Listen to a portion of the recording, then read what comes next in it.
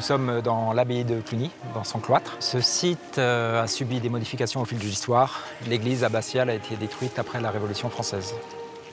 De regarder ce, ce clocher euh, qui culmine à 60 mètres de haut, un jour je me suis dit il faut restituer la partie manquante grâce à l'ordinateur, grâce aux nouvelles technologies. On a ici une vision comme si on était avant la destruction de l'église. Sur cet écran, quand on le fait pivoter, on découvre naturellement le point de vue qu'on avait à cet endroit précis.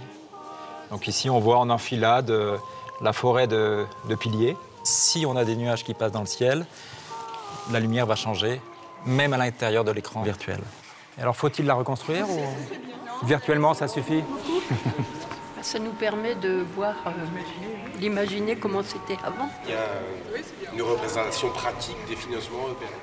Les fonds européens nous ont permis de financer une bonne partie du, projet et d'aller très loin dans le développement de notre euh, technologie. On a ici un dispositif qui est aujourd'hui unique euh, en France, probablement unique en Europe et peut-être au monde. Je pense que j'aurais pu voir ça un jour en rêve, mais euh, voilà, aujourd'hui c'est effectivement la réalité. Un rêve d'étudiant qui se transforme en résultat tangible.